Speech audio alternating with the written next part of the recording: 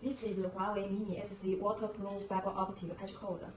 Uh, the cable is a FTTH drop cable outdoor one core with self supporting. Yeah, we can see the, the printing, the cable printing is can use it is can as our request. The connector is Huawei Mini SC waterproof connector SC APC type. Yeah, you can see this side yeah, is SC APC type.